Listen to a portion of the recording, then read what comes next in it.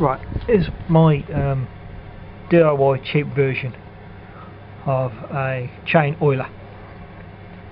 Um, so far it's cost me nothing, but uh, even if you do buy the bits it's probably about a quid I would think. Right, I don't know if you can really see it very well, but that's a Rawlplug. Uh, the reason I picked a wall plug is because it's got a little hole in it. And what I've done then is used a hot nail and put two holes in it for a couple of cable ties. All the cable ties do is just stick through the hole and run on the sprocket. Now what I used under here is a bit of copper brake pipe that I had spare um, put a bit of plastic pipe over the top of it so it wouldn't protect it against the chassis, uh, you know, against the swing arm and uh, bent it to shape and held the whole thing on with cable ties. See, so it comes through at the top. Well, you see the, the plastic is really just a sort of insulated against the swing arm, stop it getting rubbing it.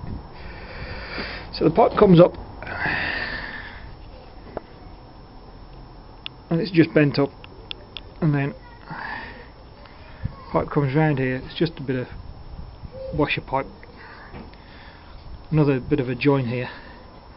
And what I've done is I've crimped the uh, another piece of copper pipe and I've just crimped it really quite tight so it really restricts the flow. And then pipe comes back up and it's joined by another bit of copper pipe. With a bit of plastic pipe on one side.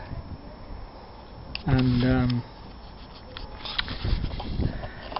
not suggesting that my wife ever does do her hair but it's one of those casting cream gloss bottles because they're flexible.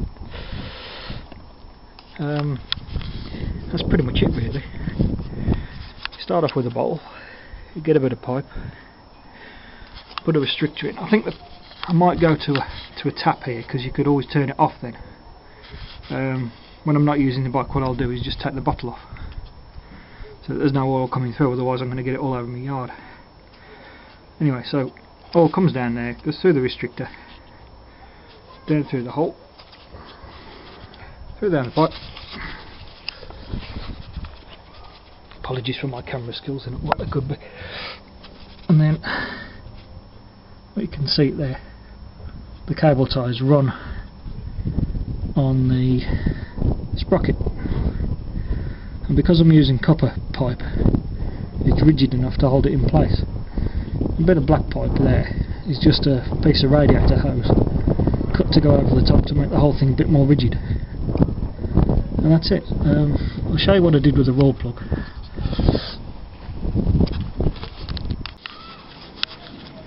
So you get a Rawlplug yeah